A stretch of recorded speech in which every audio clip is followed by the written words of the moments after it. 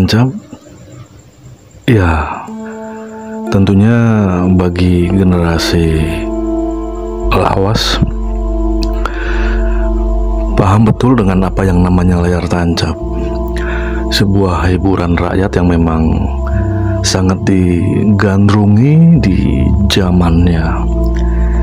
Karena memang pada waktu itu hiburan sangat terbatas. Maka ketika ada layar tancap, masyarakat ini berbondong-bondong untuk melihatnya. Dan ngomong-ngomong tentang layar tancap, ini ada pengalaman yang tidak terlupakan oleh Mas Darso. Ya, sebutlah seperti itu, bukan nama se sebenarnya. Yang beliau ingat ini ketika beliau ini bujangan ya, gemar sekali dengan yang namanya tontonan. Baik itu orkes, hiburan tradisional, dan terutama yang namanya layar tancap. Mas Darso ini sangat menyukai sekali.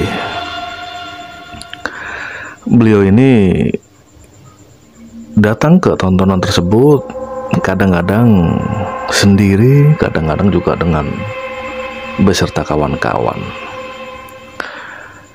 Bahkan layar tancap dulu ini ada istilah yang namanya misbar atau krimis bubar sebuah fenomena yang pada saat itu memang sangat-sangat digandrungi oleh masyarakat kadang-kadang ini Mas Darso memang mempunyai atau tahu jadwal layar tancap dari tukang yang memang biasa berjualan. Kadangkala jika ada tukang minuman ya orson atau tukang mainan. Ini Mas Darso sering menanyakan info ada tontonan layar tancap di mana Ya dengan demikian makanya Mas Darso ini selalu update dengan jadwal-jadwal layar tancap yang akan diputar hari-hari mendatang. Namun Mas Darto ini juga punya pengalaman yang sangat aneh kalau boleh dikatakan. Karena yang Mas Darso ingat ini pada saat itu memang Mas Darso ini di kejadian tersebut Mas Darso ini menonton layar tancap bersama dengan kawan-kawannya. Kurang lebih pada waktu itu ya lima orang ya Mas Darso ini berjalan dengan kawan-kawannya karena memang kendaraan pada saat itu masih sangat terbatas untuk menonton layar tancap yang akan didatangi memang Mas Darso ini untuk daerahnya kurang begitu familiar. Karena kalau dikatakan ini jarak dari kampungnya lumayan jauh. Nah, kita kembali ke cerita. Nah ketika Mas Darso dan rombongannya ini mendekati tempat yang dituju ya pertandingan apa uh, tontonan la, tontonan layar tancap. Hati Mas Darso ini sangat berbunga-bunga sekali. Karena memang sebetulnya selain hobi nonton Mas Darso ini kadang-kadang iseng-iseng ini sesekali pasang koprok ya istilahnya seperti permainan dadu. Namun itu tidak selalu hal itu dilakukan kalau memang Mas Darso ini memang betul-betul sedang iseng. Namun ya memang rata-rata ya memang hanya menonton layar tancapnya saja.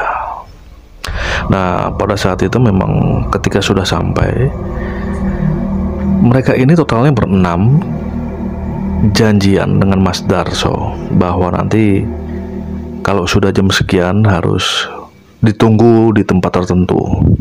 Contohnya di dekat rumah ini atau di bawah pohon ini. Nah, kesepakatan pun dicapai.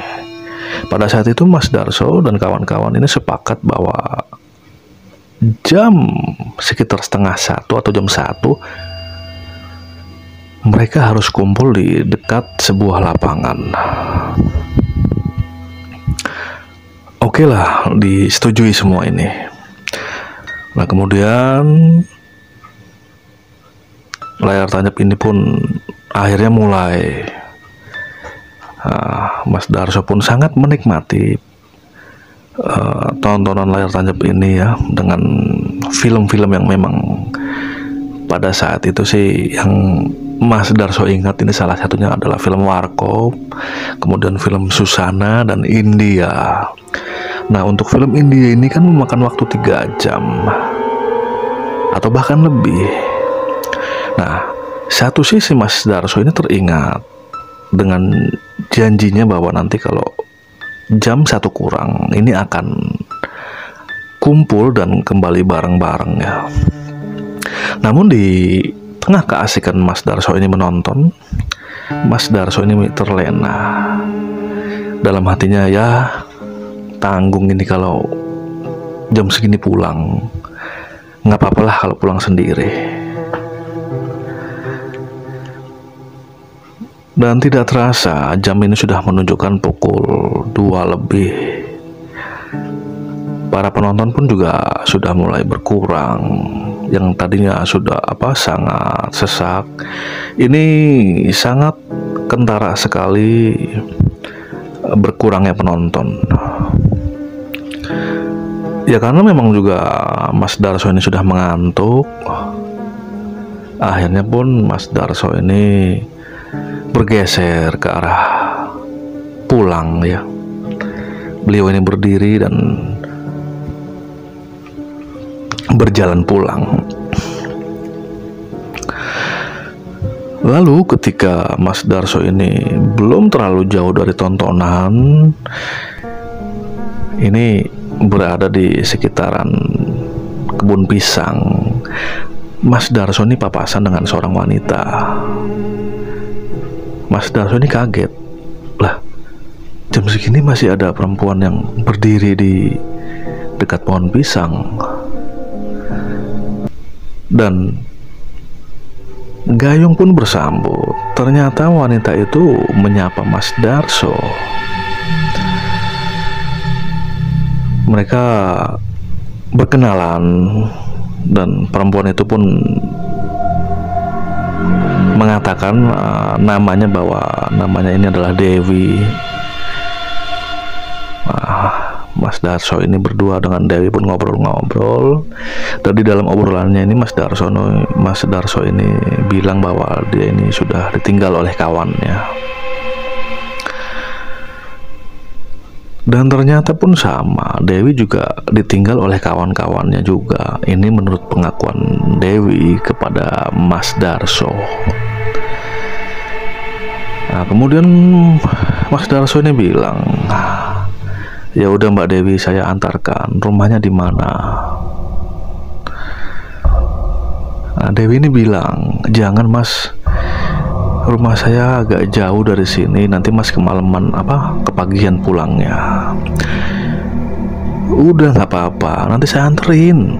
Mas Darso ini semakin percaya diri. Ya akhirnya pun diantarlah Dewi ini ke rumahnya.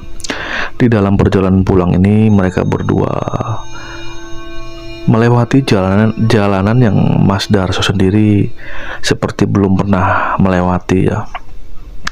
Jadi di kanan kiri ini banyak sekali pohon-pohon rindang yang membentuk seperti lorong. Gelap-gelap sekali. Kanan kiri ini pekat. Hampir seperti tidak ada cahaya. Cahaya cahaya hanya ada di ujung jalan sana yang akan dilewati Mas Darso berdua. Nah singkat cerita mereka berdua pun sampailah ke rumah Dewi. Rumah Dewi ini boleh dikatakan bangunannya masih seperti tradisional dengan setengah tembok. Nah, ke atasnya lagi masih berupa anyaman bambu. Tiba di depan rumah Dewi yang memang lampu depannya remang-remang, Mas Darso ini ditawari Dewi untuk mampir sebentar. Awalnya Mas Darso ini menolak karena sudah terlalu menjelang pagi ya. Namun akhirnya luluh juga dengan rayuan Dewi. Udah masuk masuk dulu sebentar, Mas minum dulu minum teh dulu nanti saya buatkan. Mas Darso ini bilang saya nggak enak deh ini sudah malam saya nggak enak sama orang tua kamu. Dewi bilang kebetulan orang tua saya lagi nginep mas di rumah saudara. Jadi rumah ini kosong kata Dewi. Mendengar kata rumah kosong Mas Darso ini yang tadinya lemas langsung semangat. Oh gitu? Ya boleh dah kalau saya minum teh sebentar. Nah, mereka pun akhirnya masuk. Masuk. Dibuatkanlah Mas Darso ini teh dan cemilan makanan ringan ya berupa kue. Di dalam ruang tamu yang memang agak temaram, Mas Darso ini lebih intens lagi ngobrolnya. Tanya umur berapa, sudah nikah atau belum, asli mana. Semua pertanyaan-pertanyaan itu dijawab lugas oleh Dewi. Nah, setelah minum teh tersebut entah kenapa ini Mas Darso diserang rasa kantuk yang teramat sangat. Bahkan sudah tidak sanggup lagi untuk pamit pulang. Seperti pingsan Mas Darso ini tahu-tahu langsung blek tertidur mengorok di sofa rumah Dewi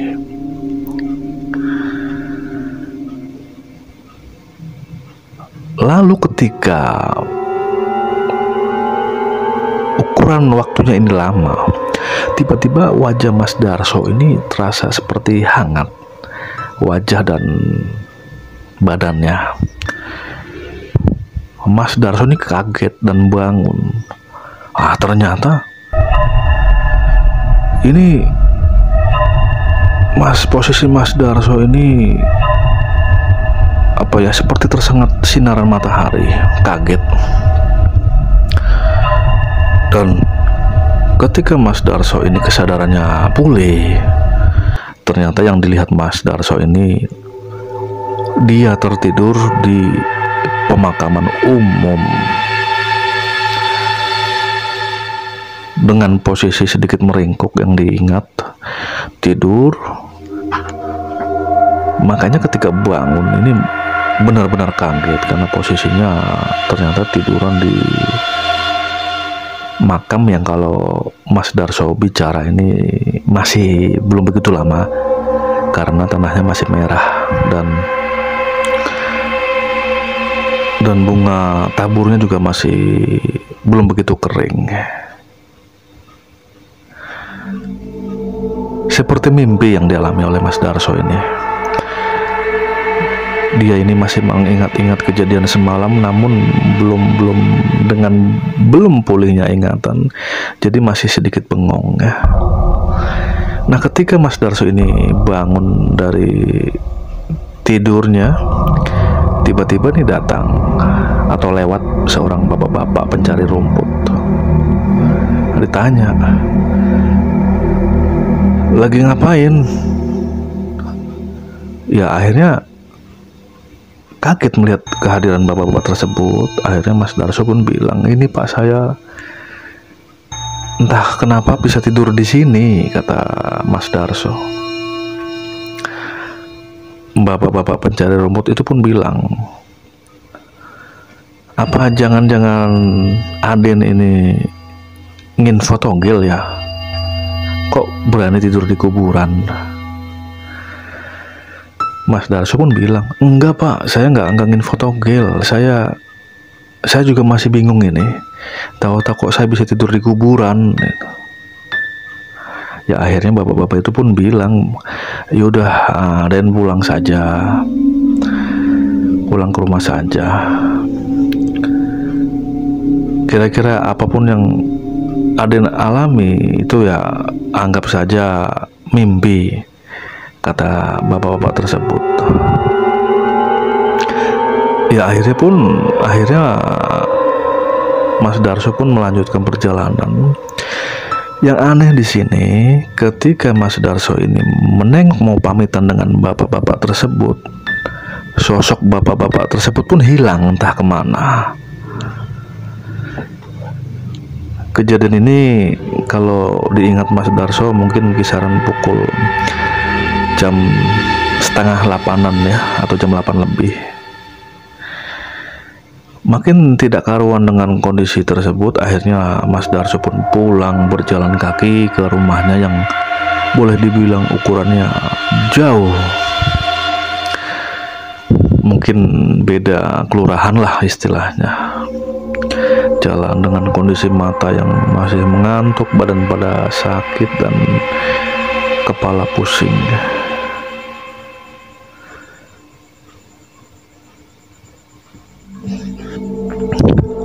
Sekitar jam atau satu jam kemudian akhirnya Mas Darso pun sampai ke rumahnya. Pulang ke rumahnya ini ditanya oleh ibunya habis dari mana aku nggak pulang? Habis nonton layar tancap bu kata Mas Darso kepada ibunya. Ya udah mandi itu habis itu langsung sarapan ya akhirnya perintah ibunya pun dikerjakan. Yang anehnya lagi bahwa akhirnya Mas Darso pun sakit tiga hari. Saya sudah mengalami kejadian tersebut. Dan ketika di mintai air oleh orang tuanya ke orang tua. Orang tua yang bisa ya. Ini katanya ada yang ikut ke rumah seorang perempuan. Dan oleh orang pintar tersebut sosoknya sudah dikembalikan lagi. Itu kejadian yang Mas Darso alami ketika beliau ini muda. Kejadiannya sekitar tahun pertengahan 80-an dan posisinya masih di pinggiran Jakarta. Tidak jauh-jauh. Itu yang Mas Darso alami akhirnya pun sedikit banyaknya membuat Mas Darso mengurangi aktivitasnya di luar jadi yang tadinya hampir tiap malam keluar ini akhirnya mengurangi jadwal keluarnya. Ya, sedikit banyaknya mungkin peristiwa ini telah merubah kebiasaan yang kurang bagus oleh Mas Darso.